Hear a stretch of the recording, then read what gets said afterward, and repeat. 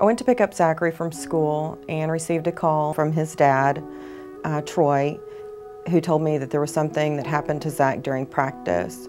I went to the field house and was immediately approached by a police officer and I knew there was something terribly wrong. I was at my daughter's freshman volleyball game. All of a sudden I looked down and she was out. She was laying on the ground. So we all ran to the court. We were lucky. There was a doctor, two nurses, and off-duty EMT there. When we got there, my husband felt her pulse and we couldn't feel anything. So they rolled her over and began CPR. Someone went and got the AED, which was applied. Shortly after that, the EMTs arrived. They also applied the AED. She was shocked five times before going to the hospital. She stayed in the cardiac ICU for eight days, where she was put in a medically induced coma. I went to pick Brock up from school about 5 o'clock, and he came to the car and got in and said, Dad, my heart's racing. And I reached over to his wrist to try to get the pulse, and I couldn't get it. And so I got his uh, pulse on his throat, and it had to be over 200, 250 beats a minute. Brock had previously, one other time, come home from football and told us that his heart was racing. We were practicing um, kickoff return, so my job was to block, and I had this really big dude that I had to block. So I go for it, I run up to him, try and block him, and he knocks me clean off my feet. So I hit the ground, and then my heart starts going, and it's not just going, it's, it's really going. And thankfully, practice was nearly over, so after maybe 20 minutes, my heart slowed down back to normal. So my dad gets here, I get into the car, and I tell him, hey, my heart's going again. You don't think, when you hear someone say your heart's racing, you don't think 300 beats per minute. That's just not the norm.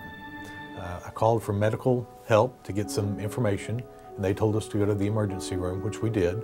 Um, we spent four hours there that night, and they diagnosed Brock with WPW, which is Wolff-Parkinson-White syndrome. That's when they told us there were several options, but the best option was to, for him to have surgery.